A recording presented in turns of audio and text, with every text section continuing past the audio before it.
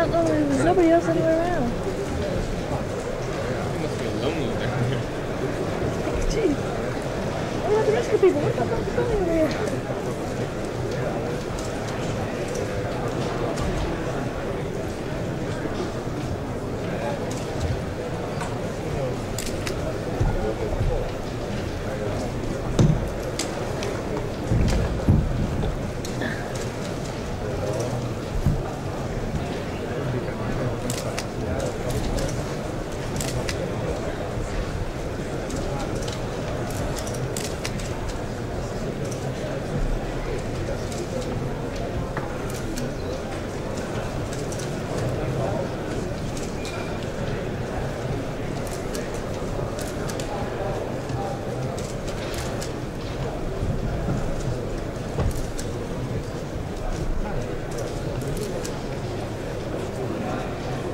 Sitting on the, right of the right of the in the. No, Meine Herren Präsidenten, verehrte? Ladies and gentlemen, Your Excellencies. It's both a great honor and pleasure for me at the end of the Bonn summit to be able to address you and to report to you, to report to you on two days of detailed and protracted talks. They were candid, very amicable, and on occasions controversial discussions. But the important thing was, and the important thing remains, that differences of opinion have been settled in a spirit of friendship and partnership.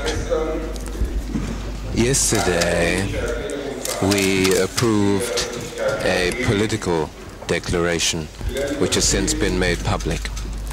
I'm sure you will understand that I, as Chancellor of the Federal Republic of Germany, regard that political declaration as something of tremendous importance which I would wish to welcome most warmly. The political declaration on the 40th anniversary of the end of the war is for all of us a political document of major significance. We remember the victims of war and tyranny.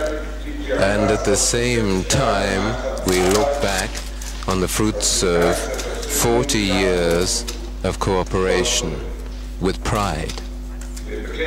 Look back on the results of 40 years of cooperation. We reaffirm the foundation stone upon which our friendship is built. Values which we share. Peace, liberty, democracy, human rights.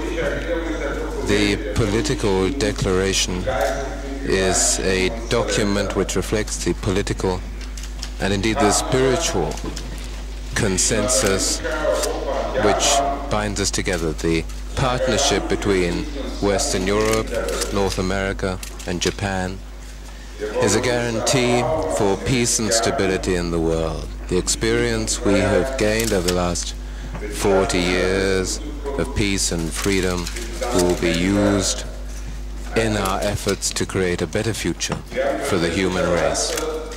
Quite understandably, the heads of state or government, Minister of Finance and Economic Affairs, and the foreign ministers obviously spent many hours discussing many issues.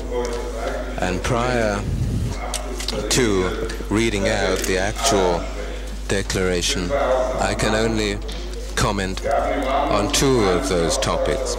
During our exchange of views, obviously we addressed ourselves to East-West relations, the question of the American president's strategic defense initiative.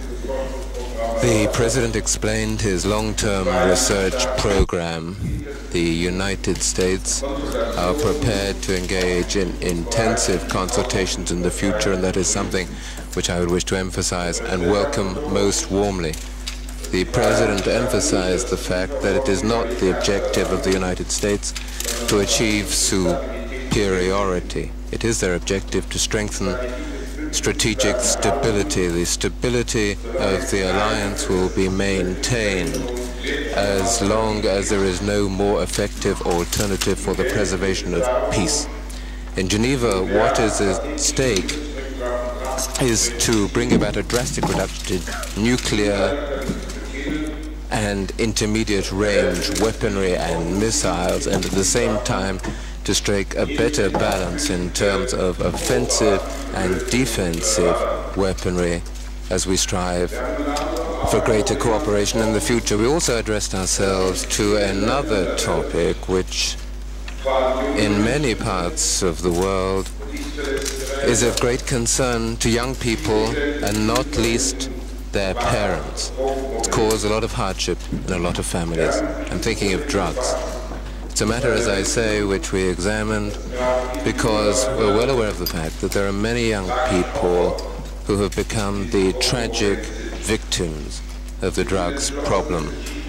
We're resolved to combat it and we've agreed quite apart from the steps that have already been taken, we've agreed to develop as comprehensive and effective strategy as possible, availing ourselves of the four available at the moment in order to combat the manufacture of the trafficking in and the uh, criminal offenses connected with drugs and narcotics. We wish to do that more effectively than has been the case in the past and we shall instruct experts to examine that strategy and to see what additional initiatives can usefully be taken.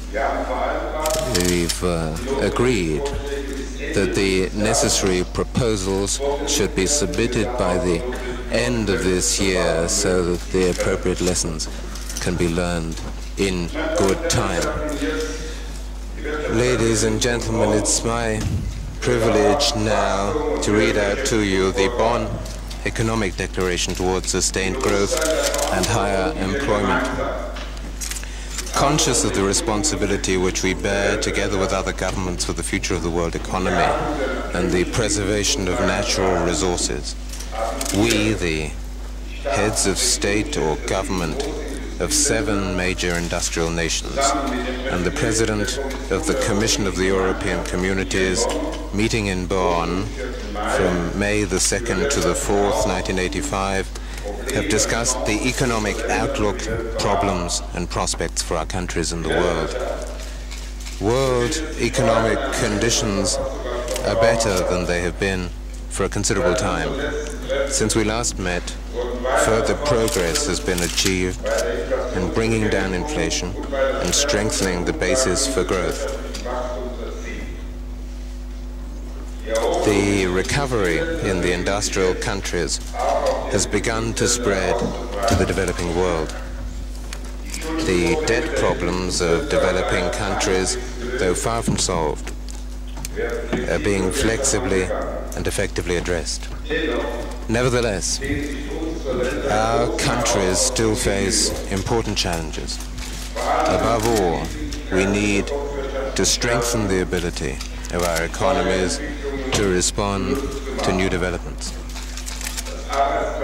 to increase job opportunities, to reduce social inequalities, to correct persistent economic imbalances, to halt protectionism, and to improve the stability of the world monetary system. Our discussions of these challenges have led us to the following conclusions. The best contribution we can make to a lasting new prosperity in which all nations can share is unremittingly to pursue individually in our own countries and cooperatively together policies conducive to sustained growth and higher employment. The prosperity of developed and developing countries has become increasingly linked. We will continue to work with the developing countries in the spirit of true partnership. Open, multilateral trade is essential to global prosperity and we urge an early and substantial reduction of barriers to trade. We also seek to make the functioning of the world monetary system more stable and more effective. Economic progress and the preservation of the natural environment are necessary and mutually supportive goals.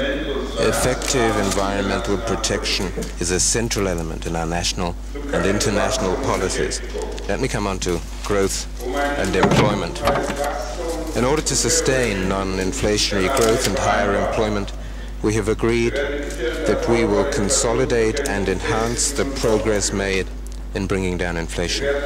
We will follow prudent and where necessary strengthened monetary and budgetary policies with a view to stable prices, lower interest rates, and more productive investment. Each of our countries will exercise firm control over public spending in order to reduce budget deficits when excessive and where necessary the share of public spending in gross national product. We will work to remove obstacles to growth and encourage initiative and enterprise so as to release the creative energies of our peoples while maintaining appropriate social policies for those in need. We will promote greater adaptability and responsiveness in all markets, particularly the labor market. We will encourage training to improve occupational skills, particularly for the young. We will exploit to the full the opportunities for prosperity and the creation of permanent jobs provided by economic change and technological progress. Building on these common principles, each of us has indicated the specific priorities for national policies. The President of the United States considers it essential to achieve a rapid and appreciable cut in public expenditures and thus a substantial reduction in the budget deficit. He stresses also the need for further deregulation and for a reform of the tax system aimed at encouraging the efficient use of resources and stimulating new saving and investment. The President of the French Republic stresses the need to continue bringing down inflation, to modernize the means of production, and to improve employment, to control public spending, and to combat social inequality. In that context, he attaches high priority to education, research, and investment in high technologies with a view to sustained growth. The government of the United Kingdom will continue to work to reduce inflation and to create the conditions for sustained growth. It will continue to keep public spending under strict control and maintain monetary discipline. It will promote the development of small and medium-sized businesses and advanced technological industries and encourage initiative and enterprise and the creation of new job opportunities. The government of the Federal Republic of Germany attaches high priority to strengthening the flexibility and vigor of the economy in order to achieve a lasting improvement in growth and to create new jobs. Small and medium-sized businesses should be especially encouraged as well as high technologies. It will continue to reduce the claims of the public sector on the economy, the budget deficit, and the burden of taxation. The government of Japan considers it essential to persevere with its policy of budgetary discipline and strengthening market functions, particularly with a view to fostering investment.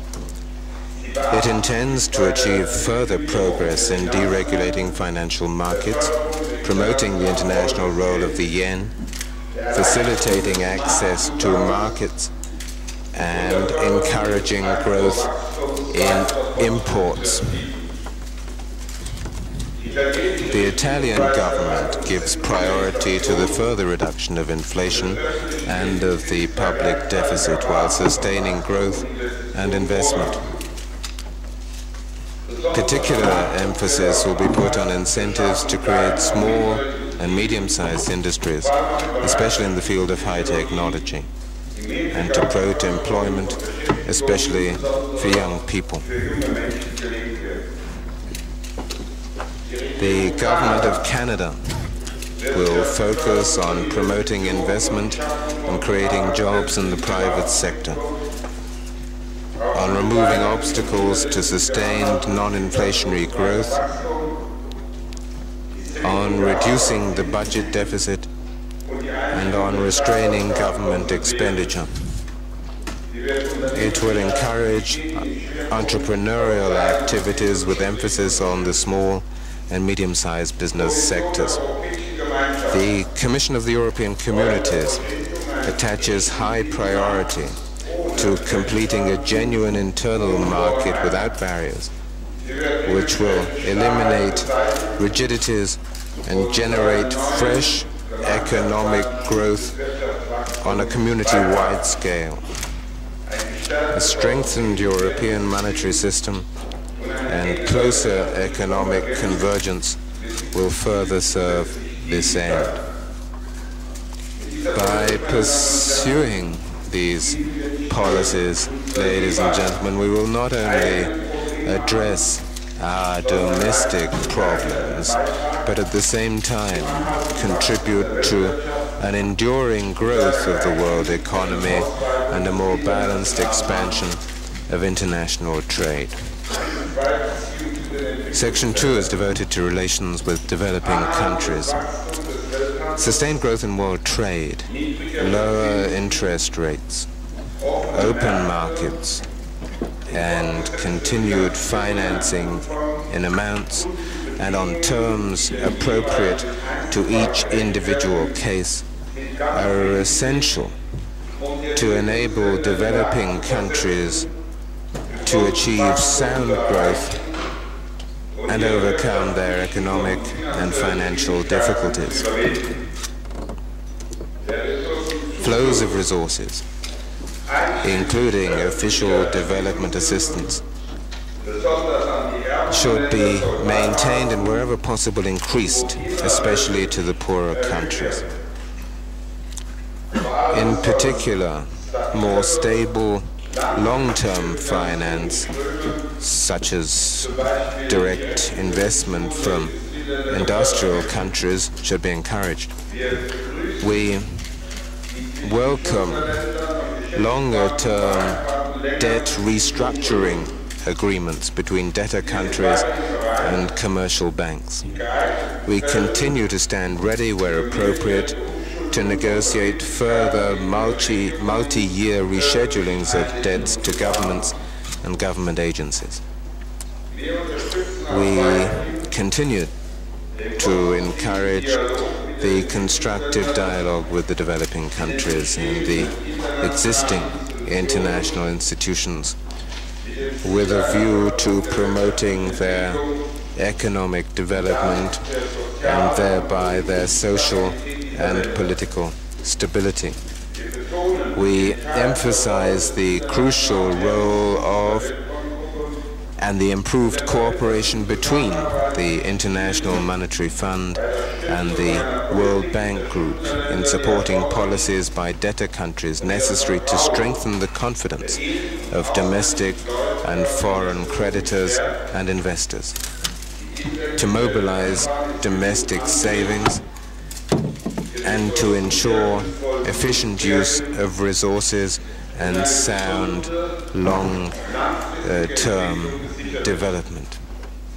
We agree to work to ensure that these institutions are equipped with the necessary resources and instruments, and we stand ready to discuss an increase in the resources available to the World Bank, which may be necessary in the coming years.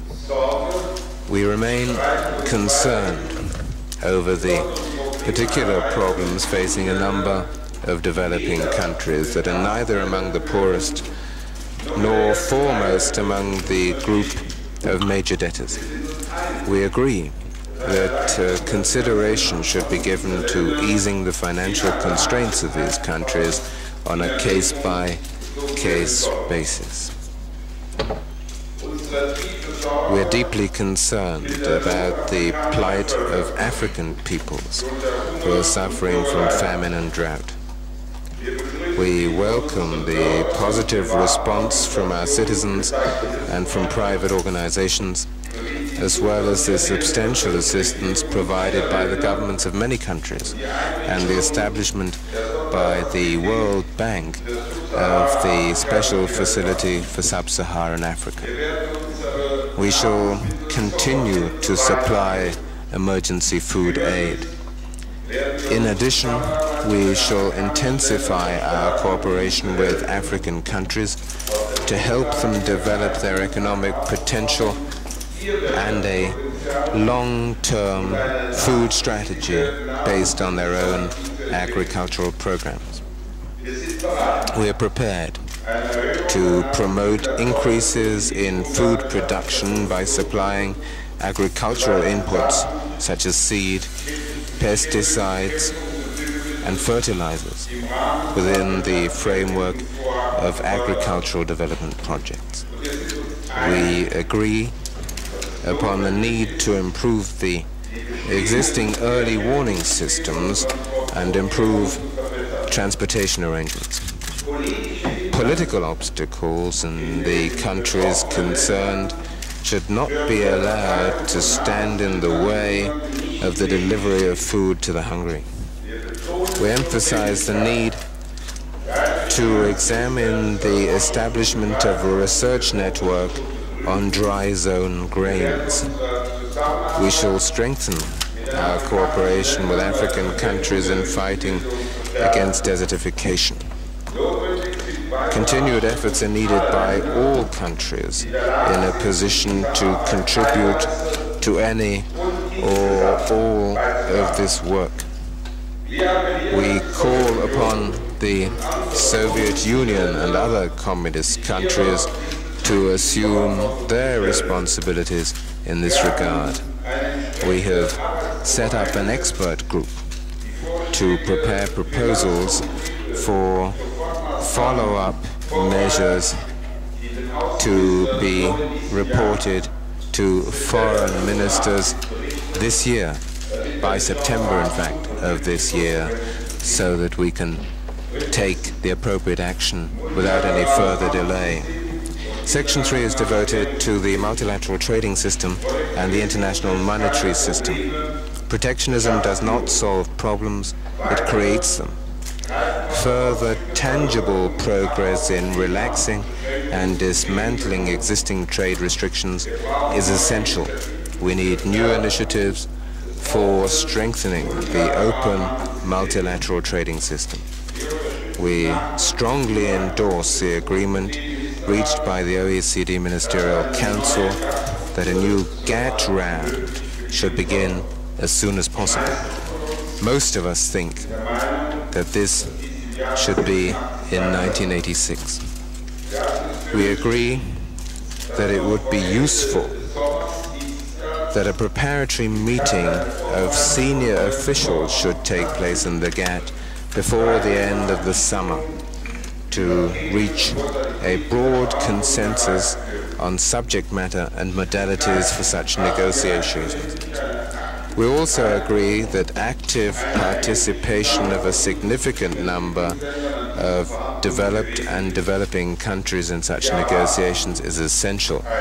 We are looking to a balanced package for negotiation on ways to improve the functioning of the monetary system and to put forward proposals to be discussed at the next meeting of the interim committee of the International Monetary Fund in Seoul in October with a view to making the international monetary system more stable and more effective. Section 4 Environmental Policies. New approaches and strengthened international cooperation are essential to anticipate and prevent damage to the environment which knows no national frontiers. We shall cooperate in order to solve pressing environmental problems such as acid deposition and air pollution from motor vehicles and all other significant sources. We should also address other concerns, such as climatic change, the protection of the ozone layer, and the management of toxic chemicals and hazardous wastes. The protection of soils, fresh water, and the sea, in particular of regional seas, must be strengthened.